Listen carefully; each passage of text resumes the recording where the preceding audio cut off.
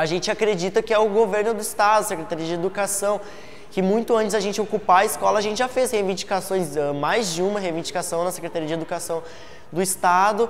Em algumas a gente chegou a ser atendido na secretaria com promessa de visita na escola e essas visitas não tiveram, né? A gente vê que professores, alunos, comunidade escolar, responsáveis, assim, estão todos bem engajados, apoiando a nossa causa, nos apoiando aqui nesse momento de ocupação e a gente não recebe resposta de, de órgão público, né? Então a gente vê que o nosso inimigo comum é realmente esse. Nem a direção está, de qualquer forma, nos impedindo de estar aqui hoje. Governo que quer botar um, outras pessoas de fora para tomar conta disso aqui e comandar. Tipo, os professores que se formaram vão ser, tipo, para dar aula, né?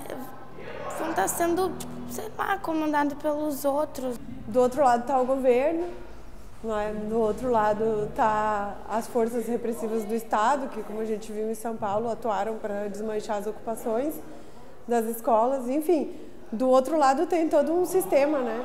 montado para que a educação seja, na verdade, uma domesticação de pessoas, né? E não uma que se possibilite uma capacidade de consciência e de pensamento.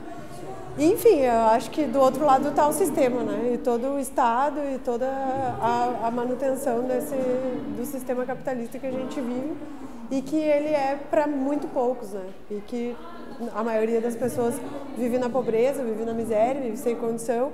E daí o básico, né? Que é educação, saúde, enfim, que já vem sendo questionado desde os levantes de 2013, né? Acho que agora a gente chegou no ponto alto desse questionamento sobre educação, pelo menos.